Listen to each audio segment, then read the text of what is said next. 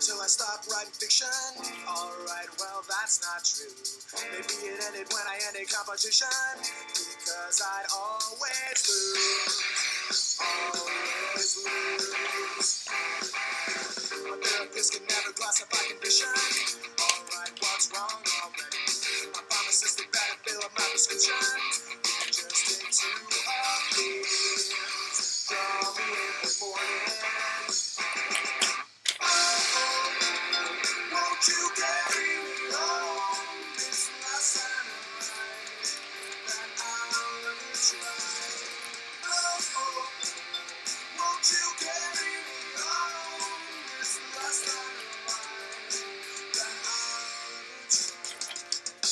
Streets are flooded and in the times were pessimists. So I just dove right in. I felt it on my felt alive, I felt it I fit in. So I'll